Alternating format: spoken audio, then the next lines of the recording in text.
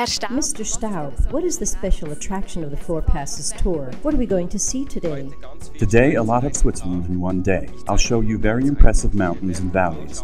The journey starts at Meiringen, then we will drive over the Grimsel Pass to the Upper Valais, from there over the Nufenen Pass through the Bedretto Valley to Ticino, and then on to Airolo, from where we will drive over the king of mountain passes, the Gotthard. Then down the Schöllenenschlucht to Wassen, and after that back over the Susten Pass to Meiringen.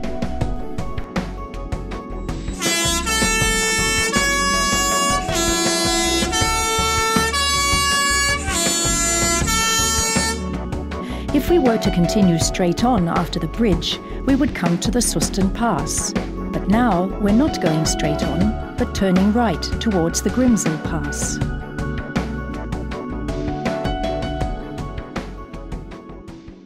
We are now on top of our first pass, the Grimsel Pass. What highlights can we see here? Yes, we have a wonderful view from here and can look back on the lakes created by the dams. We will continue our journey down to Gletsch, to the Upper Valais, and then afterwards we will drive through the valley of Eginen and up to the Nufenen Pass.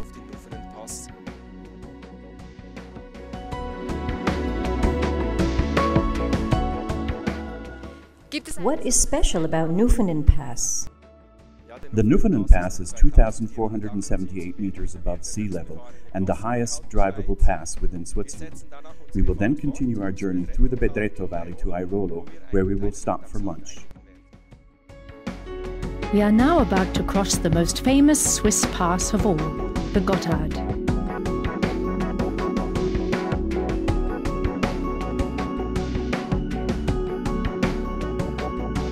This road, called the Tremola, opened in 1830. It took the post coach a day to drive over the pass.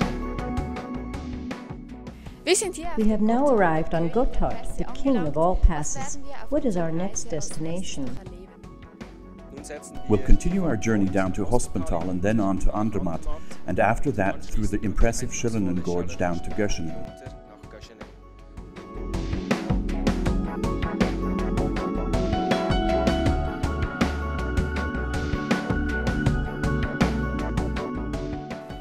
Mr. Staub, we are now on the fourth and last pass of our journey, the Susten Pass. What can we discover here?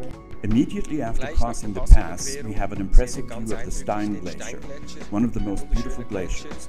The road is also remarkable for its number of bridges and tunnels. There are exactly 25 bridges and 23 tunnels.